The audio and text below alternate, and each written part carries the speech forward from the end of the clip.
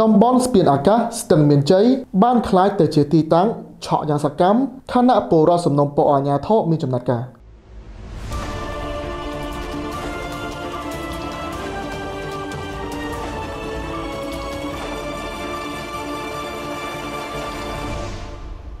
មួយរយៈពេលចុងក្រោយនេះមហាជនជាពិសេសអ្នកដំណើរឆ្លងកាត់តំបន់ស្ពានអាកាសស្ទឹងមានជ័យបានសង្កេតឃើញថាទីតាំងខាងលើនេះតែងតែមានបទល្មើសឆក់កើតឡើងជាបន្តបន្ទាប់ខណៈទីតាំងខាងលើជាចំណុចប្រសពរវាងព្រំប្រទល់ខណ្ឌចំនួន3រួមមានខណ្ឌមានជ័យខណ្ឌបឹងកេងកងនិងខណ្ឌទូកោជាក់ស្ដែងគិតត្រឹមថ្ងៃទី15ខែមីនាឆ្នាំ2023នេះមានករណីឆក់កើតឡើងផ្ទួនផ្ទួនគ្នាក្នុងរយៈពេល3ថ្ងៃមកនេះពលគឺព្រឹកថ្ងៃទី10ខែមីនាឆ្នាំ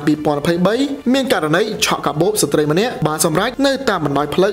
217ក្នុងសង្កាត់បឹងសាឡាងខេត្តតូកុករាជធានីភ្នំពេញហើយបន្ទាប់មកនៅព្រឹកថ្ងៃទី11ខែមីនាឆ្នាំ2023នៅខាងកើតគោលស្ពានអាកាសស្ទឹងមានជ័យផ្លូវ271ក្នុងសង្កាត់ទំនប់ទឹកខណ្ឌបឹងកេងកងមានក្រុមជនសង្ស័យជិះម៉ូតូពីរគ្រឿងបានធ្វើសកម្មភាពឆក់យកកាបូបពីស្ត្រីរងគ្រោះដែលកំពុងជិះម៉ូតូបណ្ដាលឲ្យជនរងគ្រោះដួលម៉ូតូរងរបួសនិងនៅថ្ងៃទី12ខែមីនាឆ្នាំ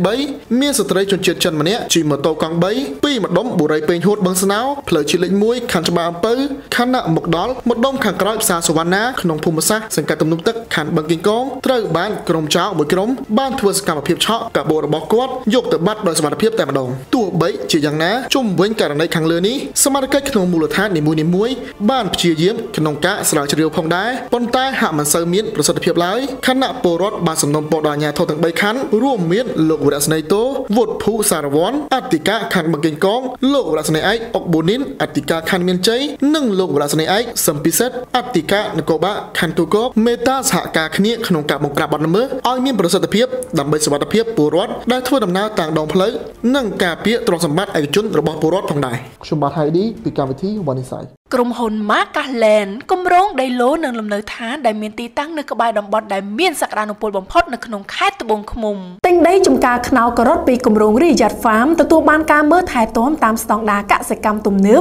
ធានាលើទីផ្សារនាំចេញចំណេញប្រាក់3ដងជារៀងរាល់ឆ្នាំរយៈពេល10ឆ្នាំពេញ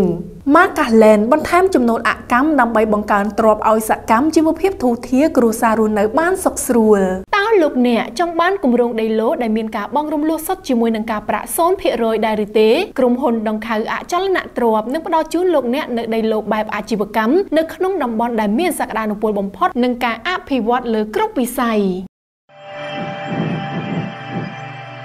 CPC News ព័ត៌មានពិតគ្រប់ជ្រុងជ្រោយ